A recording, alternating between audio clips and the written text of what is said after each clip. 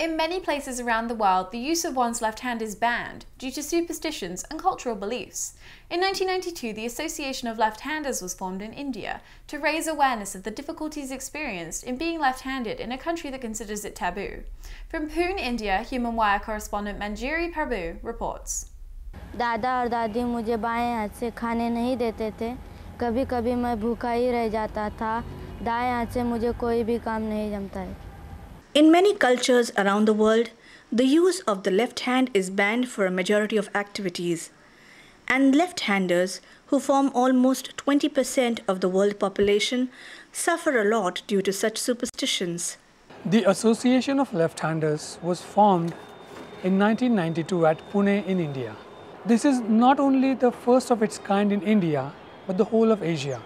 The main purpose behind formation of this association was to make the world understand the reality about left-handers and left-handedness. Every mechanical instrument that is being used in the industry is totally designed for right-handers and left-handers find it very very difficult using all of these appliances and gadgets. Domestic appliances like an iron often has a cable coming out from the right side so that a right-hander can easily use it, whereas a left-hander finds it very difficult to handle the cable while ironing the shirt or clothes. Grater, grinder, which are to be used by your hand are designed for right-handed use and left-handers find it very difficult to use them.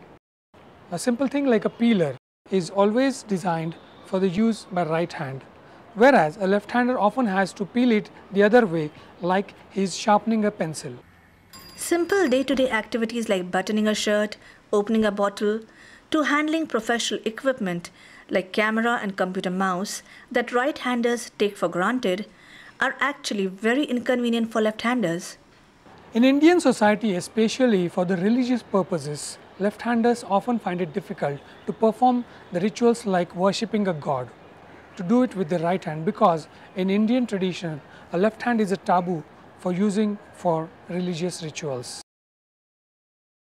There are many other factors related to being a left-hander and they start right from the early age of two, two and a half to three. The parents do not understand whether the child is a left-hander or a right-hander and try to train the child to use its right hand for most of the activities. For example, eating, writing and doing a lot of single-handed things. The association wants the society to understand these problems faced by left-handers and to do something about it.